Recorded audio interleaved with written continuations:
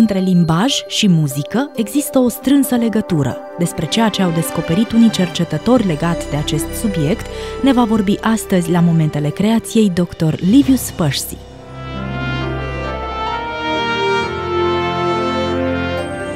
Evoluționiștii au susținut adesea că vorbirea și muzica au evoluat independent una de cealaltă. Dar cercetări recente din mai multe direcții arată că există o legătură strânsă între muzică și vorbire. Cercetătorii au studiat efectul muzicii asupra înțelegerii verbale. Activitatea electrică din creier a fost urmărită cu electrozi amplasați pe scalpul unor voluntari. Cercetătorii au observat că acei voluntari care au auzit, de exemplu, un tril de flaut, au identificat cuvântul pasăre cu o fracțiune de secundă mai repede decât cei care nu au auzit muzica.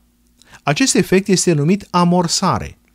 Atunci când voluntarii au auzit o cântare bisericească, au identificat mai repede cuvântul închinare decât cei care nu au auzit muzica.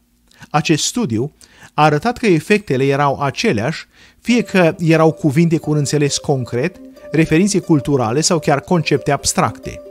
Alți cercetători au arătat că atunci când regiunea Broca din creier este avariată, este afectată negativ atât recunoașterea sunetelor armonioase, cât și a limbajului, sugerând iarăși o legătură între limbaj și muzică.